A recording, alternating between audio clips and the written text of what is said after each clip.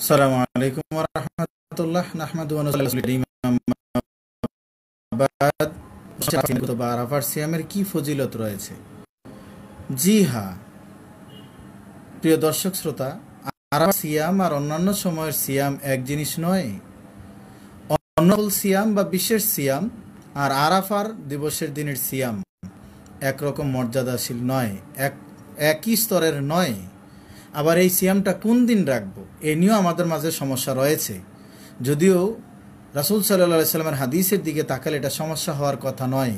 আমরা হয়তো নিজেরা নিজেরা অনেক সময় এর বাবার্থ বা অর্থ না বোঝার কারণে এটা আমাদের জ্ঞানের স্বল্পতা বা এটা আমাদের অজ্ঞতাও আমরা ধরে নিতে পারি, কিন্তু আমরা কাউকে দোষারোপ করছি না। আমাদের দেখে নিতে হবে, যখন আমাদের মাঝে কোনো সমস্যা দেখা দিবে, তখন আল্লাহ এবং তার রাসুলের দিকে ফিরে যেতে হবে। অর্থাৎ রাসুল সাল্লাহ সাল্লামের হাদিসের দিকে ফিরে যেতে হবে।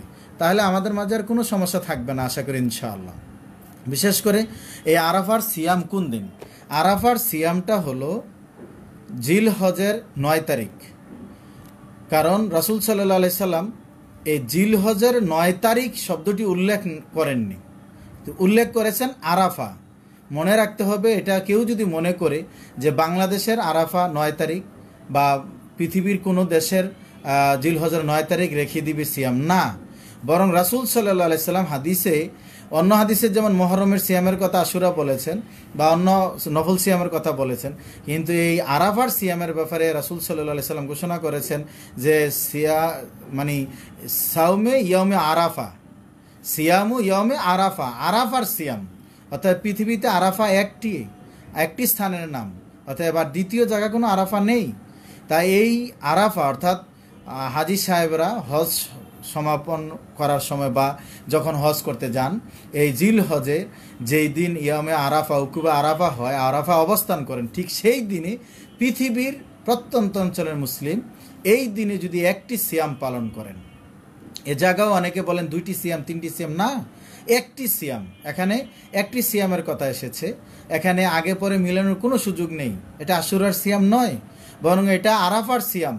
অতএব আরাফার সিয়ামে যদি একটি সিয়াম পালন করে, তাহলে রাসুল সাল্লাহ আলাইসাল্লাম দুই ধরনের মানে ফলাফল বা আমাদেরকে সুসংবাদ দিয়েছেন, আল্লাহ একবার এর একটি হলো সহি মুসলিম, এক হাজার একশো বাষট্টি নম্বর আদিস ইসলামিক ফাউন্ডেশন থেকে আদিসটি পাবেন দুই হাজার ছশো তেরো নম্বরে।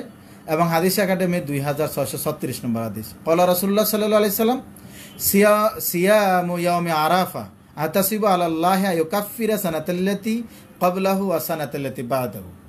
রাসুল সাল্লাহ আলি সাল্লাম ঘোষণা করেছেন যে, আমি আশা করি আল্লাহ রাব্বুল আলমিন পাপের কাফারা হিসাবে আদায় করবেন বা মানে হিসেবে আদায় হয়ে যাবে এক বছর আগের এবং এক বছর পরের। অর্থাৎ আপনার আমার এক বছর আগের গুণা এবং পরের গুণা।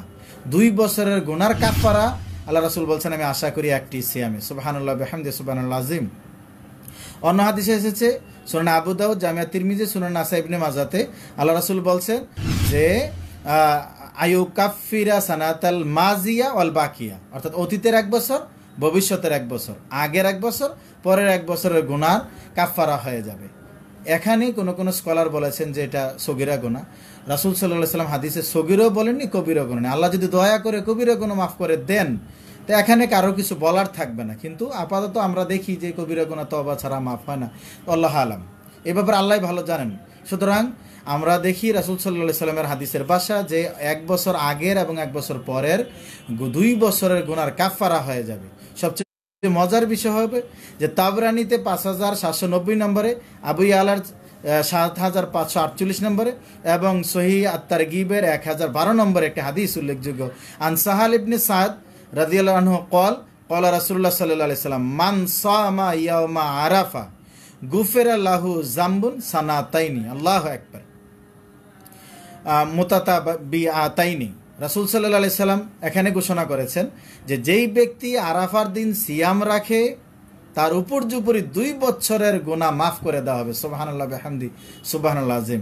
এই তাবরানির পাঁচ হাজার সাতশো নব্বই নম্বর আবুই আলার সাত হাজার পাঁচশো আটচল্লিশ সৈয়াত্তার গিবের এক হাজার বারো নম্বর এবং হাদিস সোমবারে এক হাজার একশো তিন নম্বরে হাদিস যারা প্রমাণ করে, যে রাসুল সাল্লাহ সাল্লাম বলছেন যে ব্যক্তি এই আরাফার সিয়াম পালন করবে।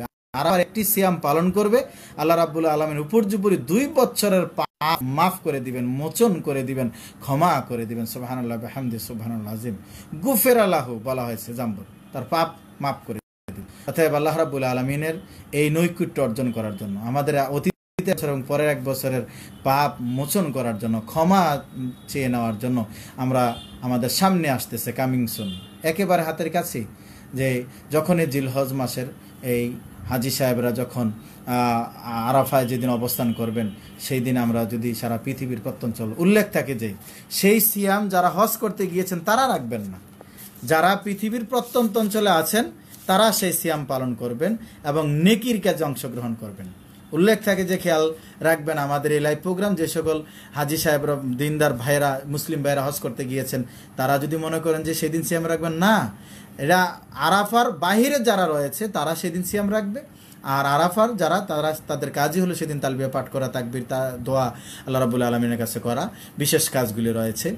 তো, প্রিয় দর্শক শ্রোতা, আমাদের খেয়াল রাখতে হবে, আরাফার সিয়ামে রাসুল সাল্লাহ সাল্লাম যেমন ঘোষণা দিয়েছেন যে অতীতের এক বছর এবং পরের এক বছরের গুনার কাফারা হয়ে যাবে।